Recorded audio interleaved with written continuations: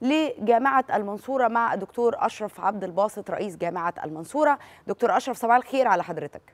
صباح النور. أهلا بحضرتك. صباح أهلا الخير. أهلا بحضرتك. يهمنا برضو نطمن من حضرتك على انطلاق بقى ال- الامتحانات للفصل الدراسي الأول في جامعة المنصورة بملاحظات حضرتك على اليوم الأول. هل تم تسجيل أي حالات اعتذار آه، يعني في الجامعة عن أداء الامتحانات عن هذا الفصل الدراسي؟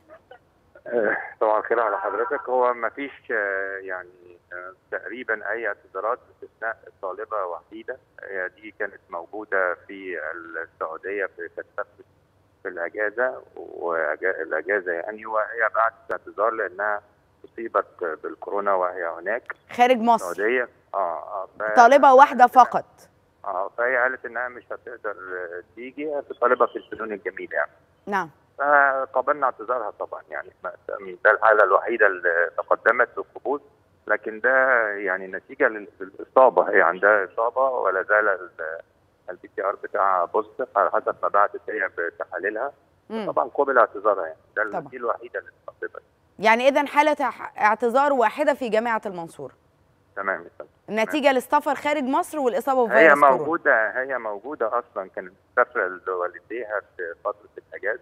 أيوه. والإصابة تمت في هناك فهي بعتت من هناك ما يثبت اصابتها فخلاص طبعا هنقبل على طول يعني دي ما فيش فيها فصال يعني. أكيد. طب دكتور أشرف بشكل عام بقى الإجراءات إحنا الاحترازيه بدأنا والوقائيه امبارح بدأنا امبارح في إحنا عندنا 18 كلية 16 بدأوا منها امبارح. آه، طبعا كل 16 كان فيهم آه، فترتين امتحانيتين. لأن حضرتك عارفة القواعد اللي تم الاتفاق عليها في نعم.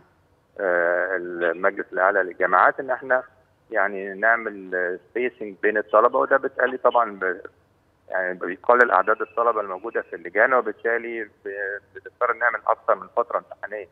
فإحنا. امبارح في ال 16 كلية دول كلهم كان فيهم فترتين في منهم كليتين كان فيهم ثلاث فترات عشان عندهم أعداد أكبر من الطلاب يعني إحنا خدنا تجربة الامتحانات السنة اللي فاتت في الفصل الدراسي الثاني في السنوات النهائية وبالتالي يعني كل الإجراءات الاحترازية المفروض الناس آه، العاملين يعني سواء كان من الموظفين أو أعضاء التدريس تعودوا على هذه الإجراءات. أيوه وتم تطبيقها زي ما يعني زي ما آه، طبقا لل- لل- للخطه الموضوعة من آه، وجود يعني كاشف الحرارة والتعقيم وتعقيم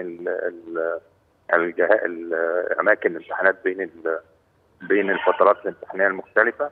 يعني والحمد لله ما ما ما, تمش امبارح آه، يعني غيابات اللي هي مفيش حد اعتذر خالص تقريبا يعني زي ما قلت لحضرتك. و...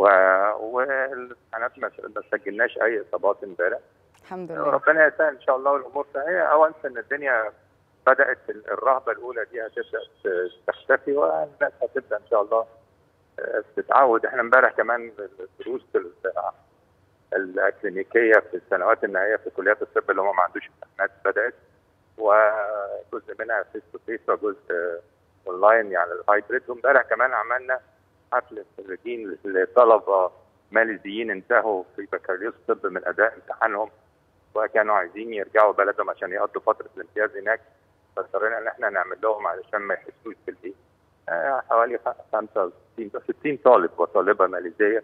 نعم. عملنا لهم امبارح حفل الخريجين بتاعهم. يعني الحياة بتطبيق طبعا الإجراءات الاحترازية وكل القواعد اللي اللي معمول بيها. يعني قصدي أقول لحضرتك إن الحياة الجامعية بدأت آه هتبدأ بشكلها الجديد ولكن هتبدأ وهتستمر إن شاء الله. ويعني أنا حتى أنا إحساسي إمبارح إن يعني التزام الطلاب آه، أكثر يعني يعني في لبس الماسكات وهم داخلين.